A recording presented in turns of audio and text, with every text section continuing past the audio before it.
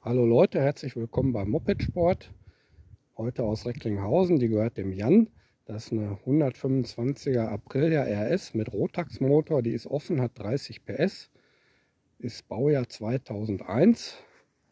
Wir gehen mal ein bisschen näher ran.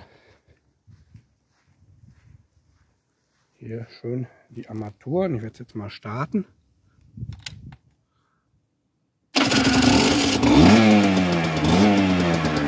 Kerniger Sound. Letzte Zweitaktmodell.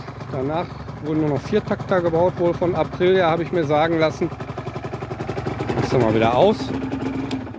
Maschine hat 20.119 Kilometer gelaufen, ist eine Tetsuyo Harada Replika.